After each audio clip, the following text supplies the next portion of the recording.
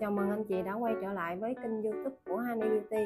Hôm nay em sẽ hướng dẫn cho anh chị cách tháo mi bằng hai cây bông tăm nhỏ. Bây giờ mình sẽ dán băng keo giấy ở phía dưới để sáp không bị rớt xuống mắt ha. Mình dùng hai cây tăm bông nhỏ nè chị. Một cây mình sẽ đè cái ngọn mi xuống, Rồi một cây mình sẽ lấy sáp Mình gắn cho cái chân mi thôi, Cái chỗ mà hồi nãy mình đi keo á. Mình không có cần vuốt sáp lên tới ngọn ha chị? Mình chấm chấm cho cái sáp nó lan xuống những cái tầng mi ở dưới. Mình cứ dặm dặm cho tất cả cái sáp nó thấm ở những tầng dưới luôn nha chị. Mình không cần đưa sáp lên trên trên ngọn đâu. Một cây tăm bông kia mình đè cái ngọn xuống nên mình dễ đưa sáp vô hơn. Rồi mình sẽ ủ sáp một tí xíu. Trong thời gian chờ mình có thể mình qua đây mình bôi sáp mình bên đây luôn chị nha. Bên đây mình có thể lấy chính cây tăm bông đó, mình đẩy cái mi ra. Cái chỗ nào nó chưa ra, mình cứ đi tiếp theo ha chị.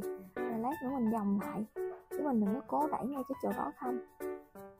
Qua video mình vừa chia sẻ nếu anh chị có à, thắc mắc mình có thể để lại comment ở phía dưới hoặc mình đến trực tiếp tại địa chỉ 161 hoặc 163 Hoa Lan, phường 2, quận Phú Nhuận để gặp trực tiếp.